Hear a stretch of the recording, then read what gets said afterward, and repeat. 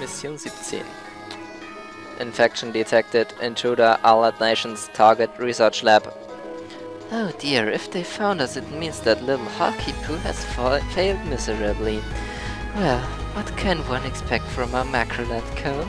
Such riff-raff. You speak wisely, Candy. No singular co can compare to the might and experience of, of the Bolt Guard. Bolt Guard statistics assessment powerful, smart, handsome. Bolt Guard intent smack laying in downward direction. Stand back, my vessels. I'll deal with this re uh, rebel myself. I prove that you shouldn't send a hockey to do what a to do a woman's job. What? What's that? What? That's Pipe Runner research. That pipe. That's the Pipe Runner's re research lab, isn't it? I think you're right, Jake. I, I, you know, I just don't get black hole. You, how could anyone live such an odd place? Finally, I've been waiting for so long. I had to reapply my makeup. Oh, this must be Candy, the black hole's most witchiest of witches. Oh, it's Sir Xavier, a middle-aged swordsman with a child's brain. Oh, Bonjour, friends. I'm sorry you came all this way for nothing. I will never surrender my pipe runner. This is the this new inven invention is my pride and joy. What? I thought it was one of Lash inventions. Inven inventions.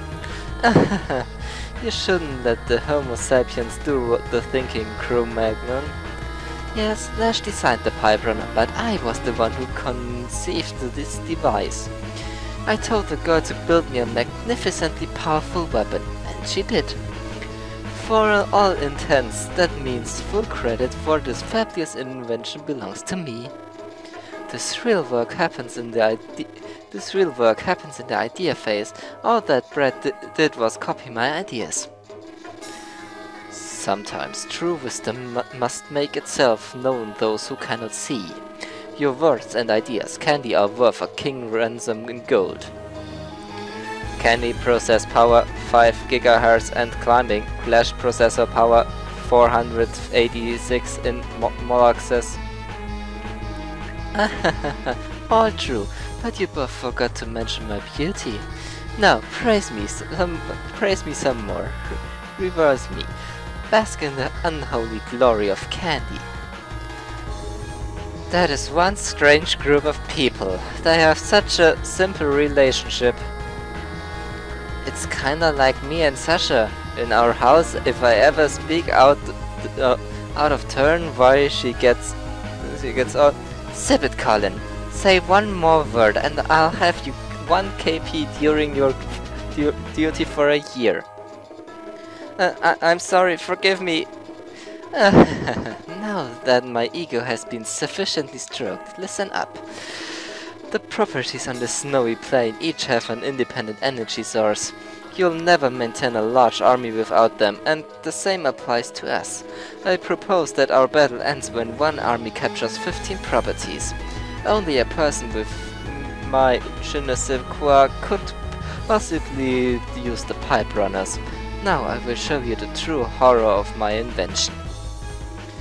Hockey gave us a tough time with these pipe runners. Now these people have them too.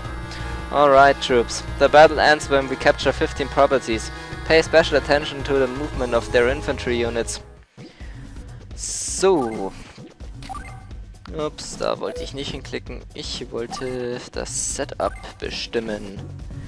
Denn hier sind Jake und Rachel nicht ganz so optimal. Ich benötige hierfür Colin und Sascha. Und Sascha hat noch keinen Skill drin. Kriegt die ebenfalls erstmal ihr Luck, weil Luck ist immer gut. Vor allem, wenn die beiden zusammenarbeiten. Also. Ja, wie gesagt, wir haben in dieser Karte gewonnen, wenn wir 15 äh, Besitzungen haben. Allerdings, ja, ich weiß nicht. Ich habe es meistens eher geschafft, äh, ihre komplette Armee auszurotten. Das klingt zwar so wie, sie, so wie die hier gerade verteilt und so wie diese Map aufgebaut ist, klingt das zwar sehr unwahrscheinlich, aber glaubt mir Leute, das ist sehr machbar. Und vor allem innerhalb von sehr wenigen Tagen, vor allem wenn man mit Colin spielt. Sascha benutze ich hier sowieso nur als äh, äh, Colin-Support, sage ich jetzt mal, damit er die Ex das extra Luck kriegt. Also dann... Let's do this. Mission 17, Spiral Garden.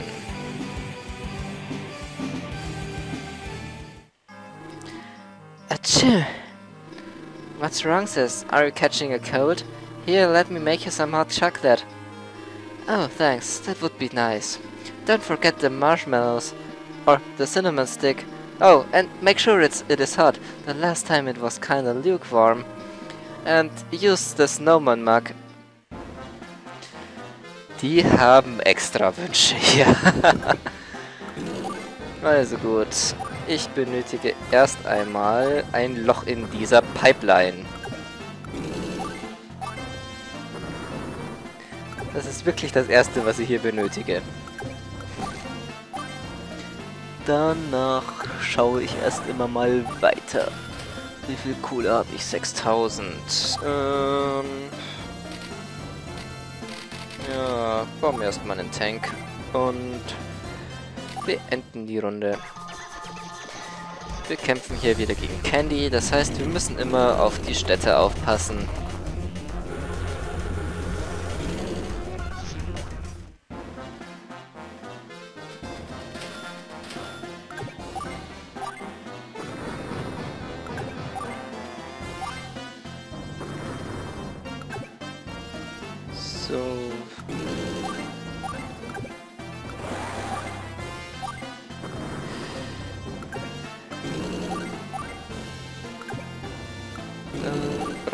Erstmal hier hinten einen großen Haufen Tanks. Und mehr Artillerie und noch eine Infanterie. So,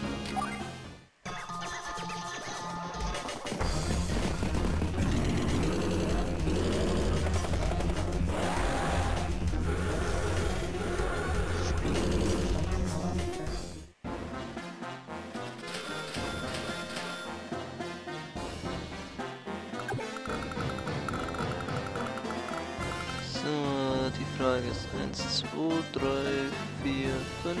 Da kommt locker noch hier hin, ohne dass der erwischt wird. Ich brauche die drei Einheiten da jetzt mal nur da oben, damit ich auch äh, sicher gehen kann, dass ich hier auch das äh, kriege, was ich will. Ich will nämlich die drei da oben benutzen, den Pipe Runner äh, aufzuhalten und vor allem möchte ich die Infanterie vor allem daran behindern, diese Basis zu besetzen, weil wenn ich die Quasus kriege, dann habe ich eigentlich schon gewonnen.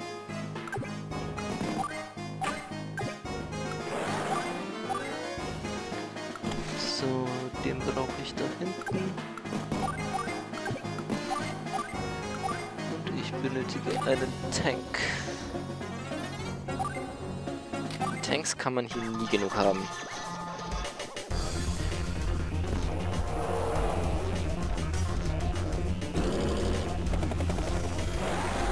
Und vor allem benötige ich demnächst mal eine Flak-Einheit. Die habe ich in der Planung jetzt komplett vergessen.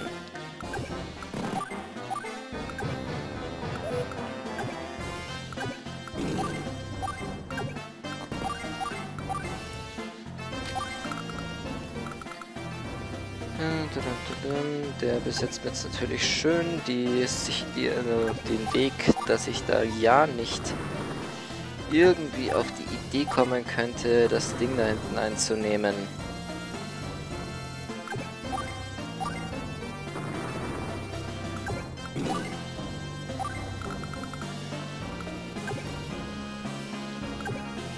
So, ich muss mich jetzt mal dem Feuer von dem Pipe Runner aussetzen, da hilft leider alles nichts. Und da sieht man jetzt mal, wie, wie stark das Glück zwischen den beiden Kurs hier schon ist.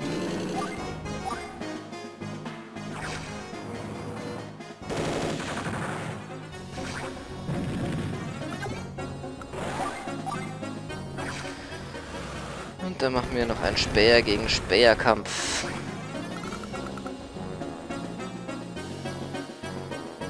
Okay, können wir da noch was Sinnvolles bauen? Sehe ich jetzt nicht wirklich irgendwas Sinnvolles, was ich gerade noch benötigen würde. Also spare ich ein bisschen Geld.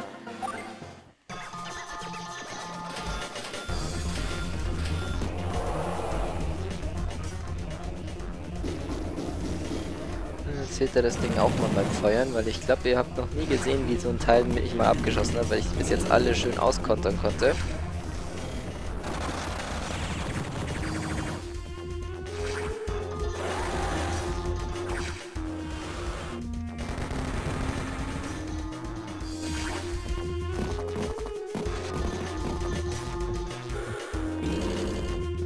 Das läuft ja eigentlich wie geschmiert da unten. Bis auf die Tatsache, dass mir jetzt da der Panzer im Weg steht. Wobei, ich glaube, darum kann ich mich ja auch noch kümmern.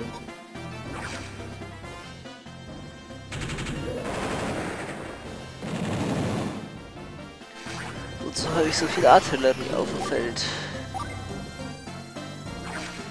Nur hoffen, dass das reicht. Perfekt.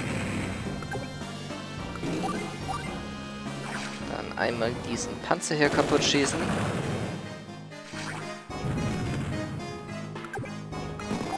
Und hier den Pipe Runner mal anschießen, weil mit 5 HP ist der weit weniger gefährlich. Und wenn wir ein bisschen Glück haben, kriegen wir ihn sogar bis auf 3 runter. 4 ist aber auch schon okay.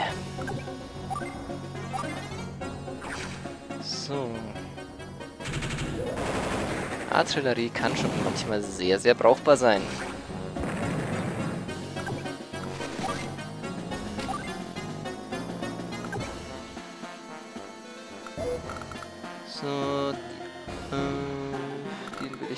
kommen lassen.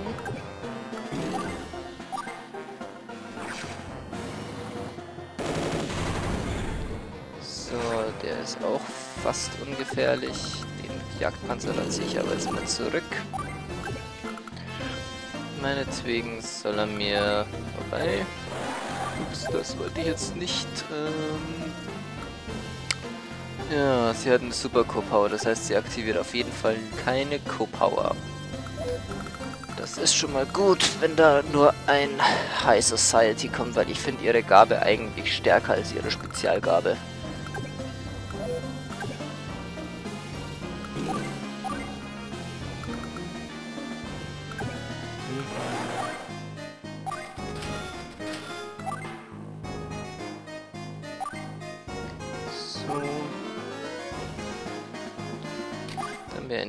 Zukunft.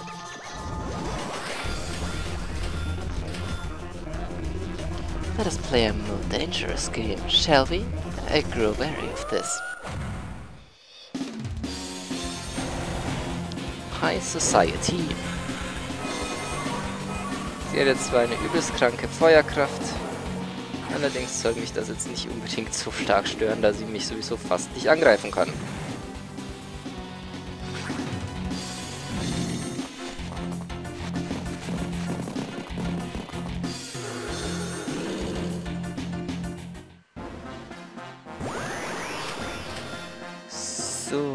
Ist ja schon die Frage, soll ich auf eine Tech Power von den beiden sparen, weil das wird es nämlich auch bringen. Ansonsten würde ich jetzt eigentlich nur ein kleines, einen kleinen Gold Rush machen, weil ich jetzt dann demnächst doch mal ein bisschen Kohle brauche. So, jetzt ist die Frage, was macht mehr Damage auf den? Das ist ein 3%, das sind nicht allzu viele. Hier haben wir 8%. Allerdings greife ich trotzdem mit den Speer an, weil der mehr Glück haben kann. Der hat nämlich noch mehr HP. So.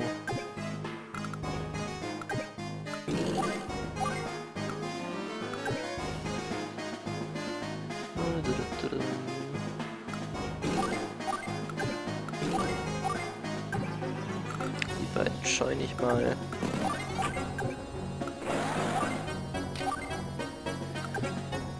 fahre ich schon mal in der Zwischenzeit nordwärts, damit ich da irgendwann mal dazu komme. Ähm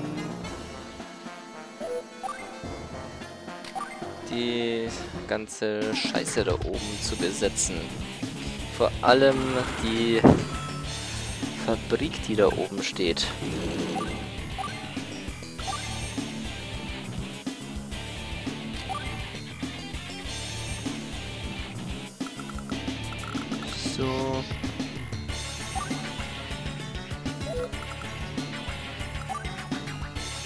Ja, ein Neotank soll es tun. Und ja, wir können ja auch Megatanks mittlerweile bauen. So. Den Rest werde ich jetzt mit Sascha weiterspielen. Und dann sollte irgendwann eine Tag Power zusammenkommen.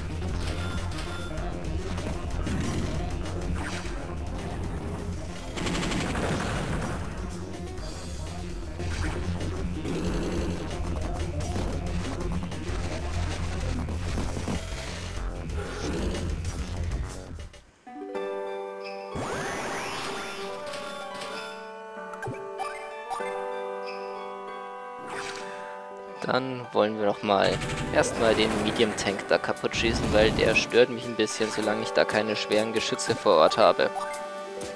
Jetzt ist hier die Frage, was stört mich mehr, die Artillerie oder der angeschlagene Panzer? Ich glaube, der Panzer stört mich immer noch mehr.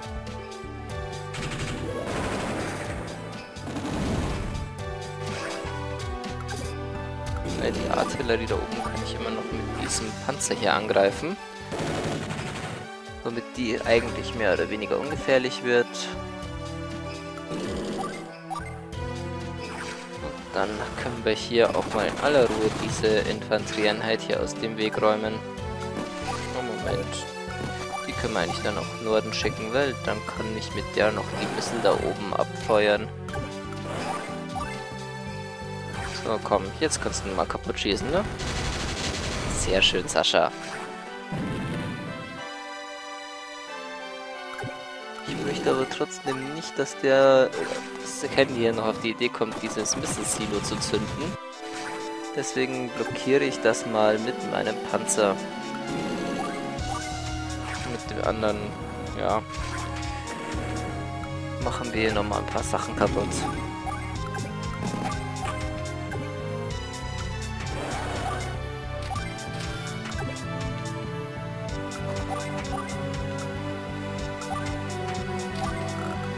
Speer reicht hier jetzt erstmal und du stellst dich schon mal da oben drauf.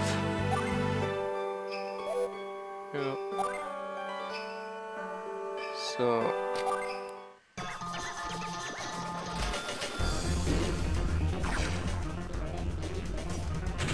Das kostet mir jetzt zwar wahrscheinlich mein Panzer.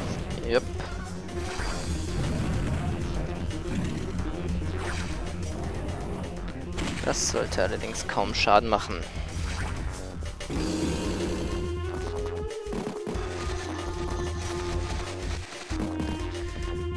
Da kommt der ganze Infanterieauflauf da oben. Na, den wollen wir doch mal ein bisschen aufhalten.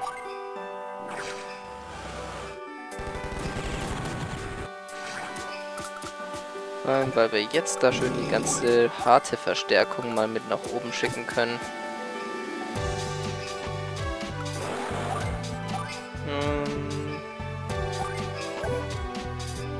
Ich bin noch nicht sicher, ob ich die da schon hindroppen soll. Gut, sie kommt mit keiner Einheit ran.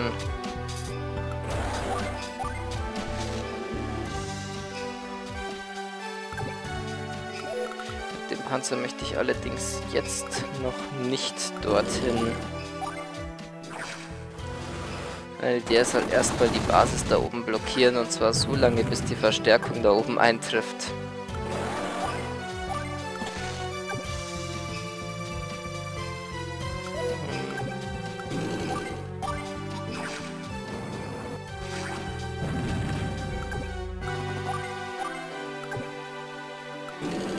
Damit wir die Verstärkung auch schneller da hochschicken können, schieße ich da noch irgendwo ein Loch in die Pipeline.